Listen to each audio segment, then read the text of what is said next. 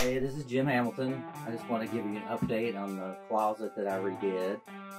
This is uh, basically it's a custom job. We didn't go to the store and buy it. So it took me about 25 or 30 hours to do it. We haven't painted it yet because we just like kind of like the raw wood of it. So actually, I did trim it out. And this is the finished product. It was uh, fun to do. Took a little while, drove my wife crazy because I tore the house up. But that's it. All right, we're gonna take a little look at it here. We basically have five shelves and two nooks for our clothes. There's a little hidden shelf back here that we have storage up here and we have storage above as well. All right, so there you go. There's our finished product.